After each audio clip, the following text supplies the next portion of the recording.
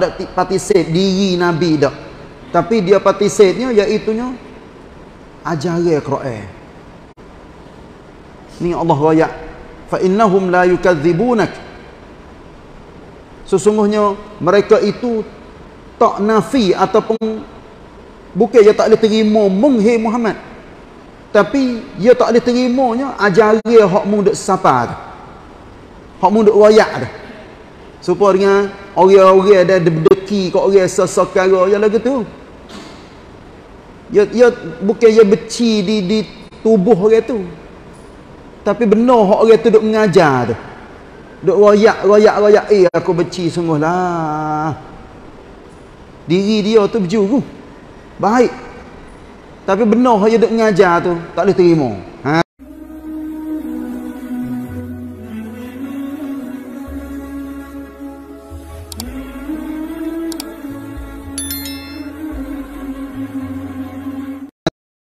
الرجيم. ولولا أن تصيبهم مصيبة بما قدمت أيديهم فيقولوا فيقولوا ربنا لولا أرسلت إلينا رسولا فنتبع آياتك ونكون من المؤمنين.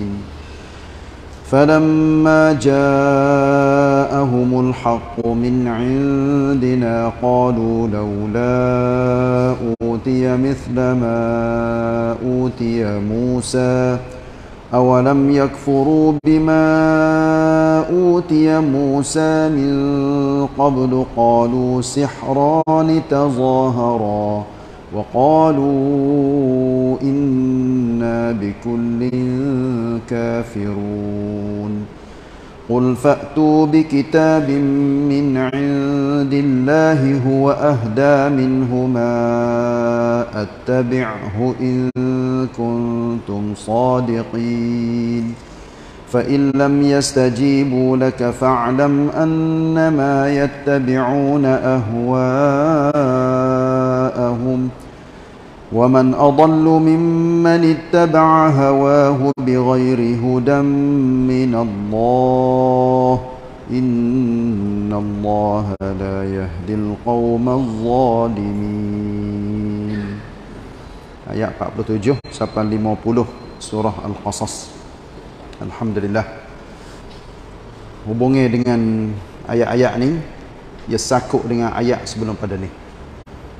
Cuba kita tengok makna dia dah, sekadar makna ayat yang ke-40 ni yang saya baca kemarin iaitu Allah Taala royak kepada nabi katanya ketika peristiwa yang berlaku di zaman Nabi Musa menerima Taurat Nabi tak ada duduk dalam hidkan tapi Allah Ta'ala beri wahyu kepada Nabi boleh tahu satu persatu benda yang berlaku. Lepas tu Nabi terima Quran sebagai petunjuk kepada manusia boleh manusia dapat mengetahui apa dia hakikat yang sebenar. Dia panggil selok belok teaching yang berlaku hak mana hak betul hak mana hak salah. Cuba kita tengok makna ayat yang ke-40 ni. Dan engkau juga tidak berada dekat gunung Tursina tetap kalau kami menyeru Nabi Musa dan memberi wahyu kepadanya dahulu. Tetapi diturunkan rahmat iaitunya Al-Quran. Allah Ta'ala jak namakan Quran ni sebagai rahmat. Nah, dari Tuhanmu menerangkan kisah itu supaya engkau memberi amaran kepada kaummu. Maknanya kepada orang-orang Arab pada waktu itu yang ingkar dan tak seterima ajaran Nabi kerah kepala, kerah perut terutamanya orang-orang yang menetai Nabi. Sehabis-habis dia menetai. Dia tak seterima ajaran Nabi. Dia tak ada duk partisip tua Nabi tu. Tak ada partisip diri Nabi dak. Tapi dia partisipnya iaitunya ajaran Quran. Ni Allah royak fa innahum la yukadzibunak sesungguhnya mereka itu tak nafi ataupun bukan dia tak boleh terima menghe Muhammad. Tapi dia tak boleh terimanya ajaran hak mu duk tu hak mu duk royak tu supaya dengan orang-orang ada dengki kat orang sesekara yang lagu tu ya, ya bukan ya beci di, di tubuh orang tu. Tapi benar hak orang tu duk mengajar tu duk royak royak royak. Eh aku beci sungguh lah diri dia tu berjuru. Baik. Tapi benar dia duk mengajar tu tak boleh terima. Ha tu gitu. Tu di zaman Nabi pun lagu tu lah. Allah royak di dalam Quran katanya puak-puak kafir Quraisy utama sekali. Hak jadi ketua pemimpin dia rap medan dengan ajaran Quran. Bila baca Quran, dia katuk. Katuk telinga ni, ambil menyumat, ambil tangan ni bubuh. Tu hai royak supaya dengan di telinga mereka ni ada penyumat. Katuk. Dia tak sedengar Quran. Kalau dengar Quran pun, dia pakai royak kepada sama-sama puak dia wal ghaufi hendaklah kamu laga maknanya mu tak saduk soncai orang baca Quran ke apa mu tak saduk soncai tak sebuh perut tengok siapa setara tu dia tak seterima ajaran Quran yang Allah wahyu kepada Nabi. Nah kepada kaummu yang telah lama tidak didatangi sebarang rasul pemberi amaran sebelummu. Supaya kita tahu dah. Ajaran Nabi Musa nak boleh sapa ke Nabi Muhammad ni? Oh tak tahu berapa ribu tahun. Cuang Allah apa ni? Cuang Nabi Nabi Isa dengan Nabi Muhammad pun 570 tahun. Tak ada rasul cuang tu cuang-cuang tu cuba kita gambar katanya tak ada tak ada orang duk duk dakwah agama. 570 tahun. Lepas tak sesak lagi. Manusia ni ia, ia perlu kepada orang duduk teran sokmo kita orang Islam ni dah. Kalau misal katanya kita buat saja ni buat tak ngaji. Semaya semaya tapi tak ngaji. Duduk semata-mata duduk. Semaya hari-hari tapi ilmu tak ada bertambah. Benar-benar baru pun tak ada. Tak ada mari. Duduk semata-mata duduk kerja makan hari ya semaya. Semaya pun semaya gitu-gitu ngaji pun tak ha semaya. Apatah lagi cara hidup? Sebab tu kita ni kena jadi ngaji sokmo dengar sokmo benar-benar baru dan sebagainya. Walaupun benar lama hak kita biasa ngaji dah pun bila kita dengar sekali lagi dia boleh boleh baru semula perangat semula. Apatah lagi? Kalau sekiranya orang hanya royak katanya aku masih Islam dah. Tapi 10 tahun tak biasa mengaji. Biasa mengucap dua kelima syahadah dulu tu 10 tahun. Lepas tu duk mengaku katanya Islam lagi, mengaku mengaku mengaku. Amal ibadat pun tak ada duk sungguh. Apatah lagi? Ha ilmu agama ni dia kena kena jadi boleh semua. Itulah berhajat kepada tazkir peringatan.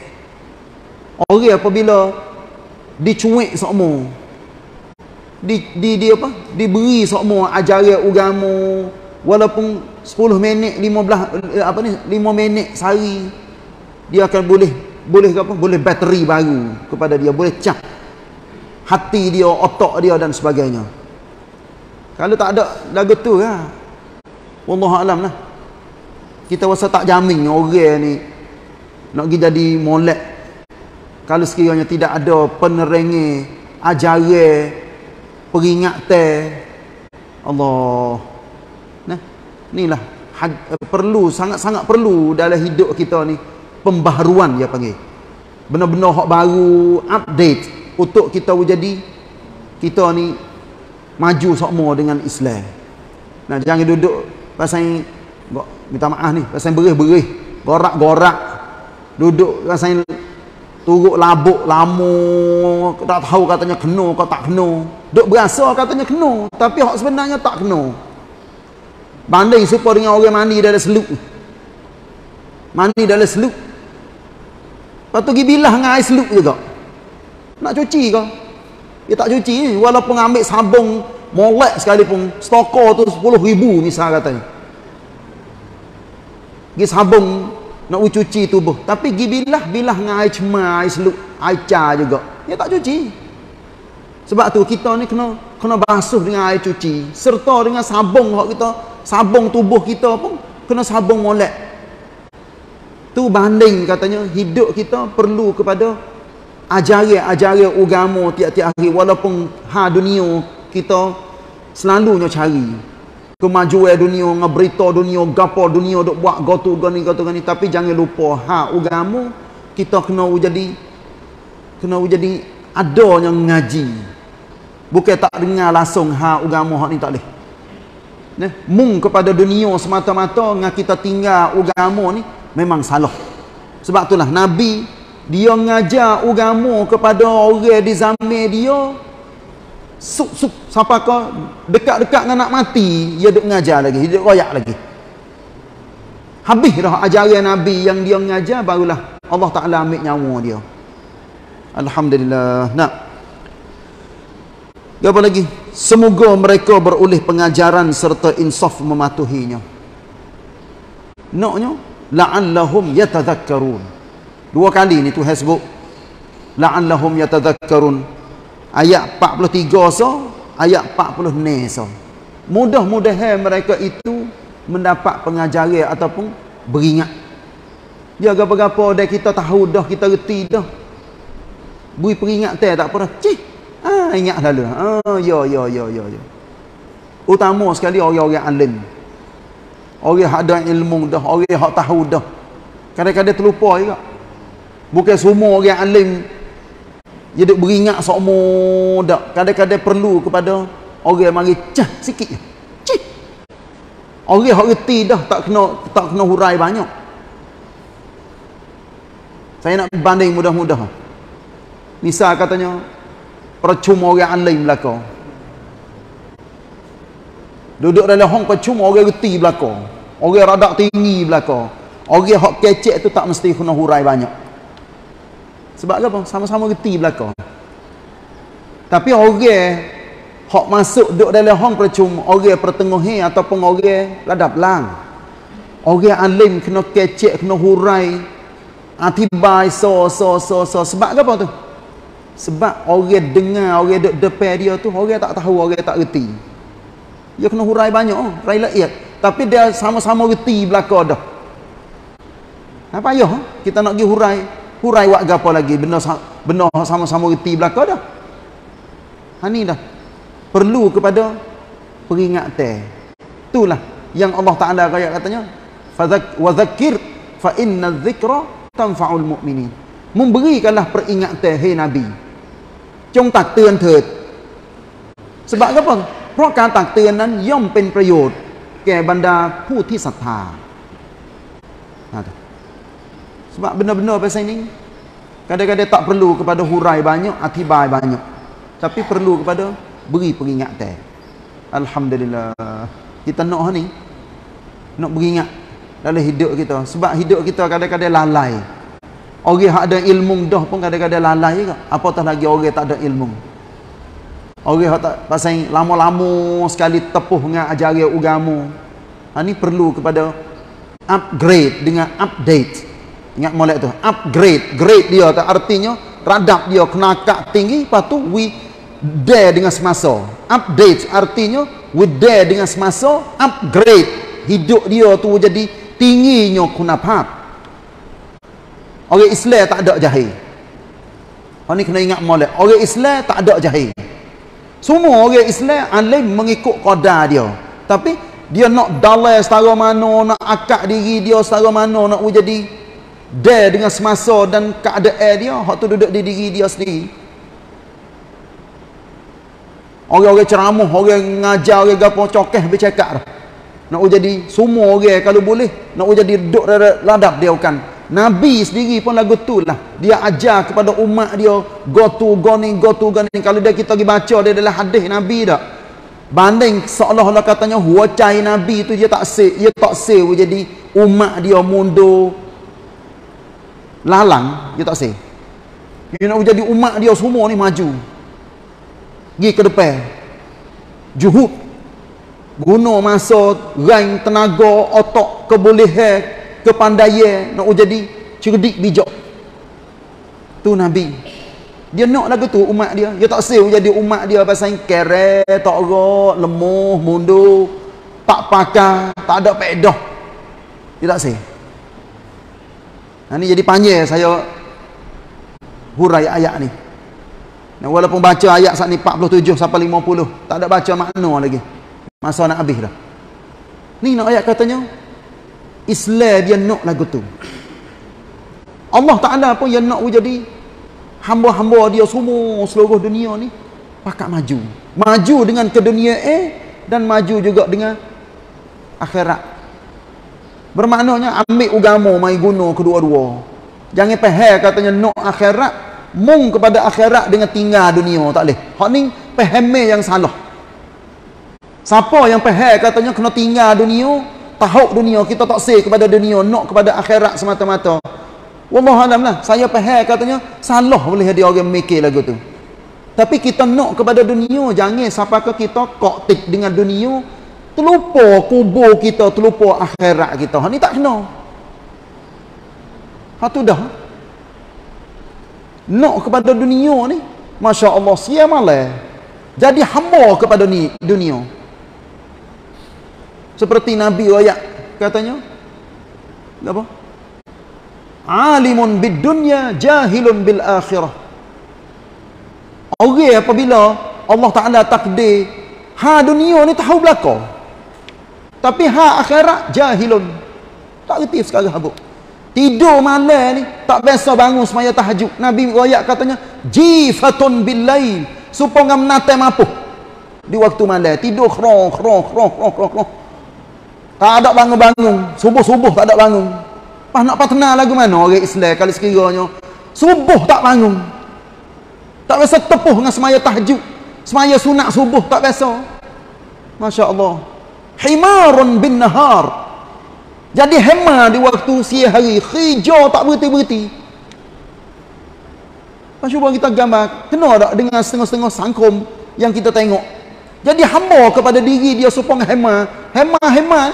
Cuba kita gambar. Tuai dia katok. Bok, bok. Oh, oh, oh, oh. Gitu. Tolok. Siapa mampu hemah kerja? Tak mampu tu tu duk guna situ, jalan ngongeng ngongeng ngongeng ngongeng. Tu hemah. Masya-Allah. Ha tu kita manusia jangan jadi supa dengan hemah, supa dengan menatai mampu. Jahil ha akhirat, alam semua ha dunia. La ilaha illallah. Nak pergi duduk mana lah umat Islam kalau sekiranya jadi supa dengan tu. Sebab tu kita sekali lagi dah kena upgrade hidup kita the grade kita kena jadi tinggi update we jadi nampak kita semasa we there dengan keadaan orang dia buat gapo go tu go ni go tu kita pakak-pakak maju belaka insyaallah. Majulah kita dengan Islam maka majulah kita dengan semua setiap perkara. Hak penting kan ni ibu ni duduk di Quran. Duduk di Quran. Siapa nak tolong hurai kepada kita nak jadi terbukanya akal fikir kita, cara hidup kita nak jadi kena. Kalau baca semata-mata minta maaf dah. Kalau baca semata-mata baca makna, baca baca baca baca baca baca baca baca baca. Saya duk rasa 3 4 hari habis kita baca. 3 4 hari ya baca makna dia serta dengan baca baca baca baca, baca habis. Tapi isi yang kita naknya bukan hanya baca pak baca makna dia sekadar arti dak. Tapi kita nak lebih dalam lagi daripada isi Quran itulah yang dinamakan manhaj laksud yang Nabi ngajar para sahabat pada zaman dulu bermula dengan beberapa ayat. Hak mudah-mudah ya. Nabi buat di rumah Arqam bin Abi Arqam. Buat halaqah. Buat halaqah Quran. Sebab tu halaqah Quran ni penting. Bukan semata-mata baca tak tapi huraya royak so so so boleh orang tu basuh jiwa dia otak dia faham dia. Boleh betul semula. Gapo hak faham tak tak kena mari kita betul banyak yang setengah-setengah orang Islam faham tak kena tapi duduk pasal tak kena sampai mati wal iazubillah eh? banyak lagi benda nak royak tapi insyaallah kita pergi dari ayat ke ayat ayat ke ayat mudah-mudahan Allah Taala buka hidayah kita dengan al-Quran dan hadis Nabi sallallahu alaihi wasallam. وصلى الله على نبينا محمد وعلى آله وصحبه وسلم والسلام عليكم ورحمة الله وبركاته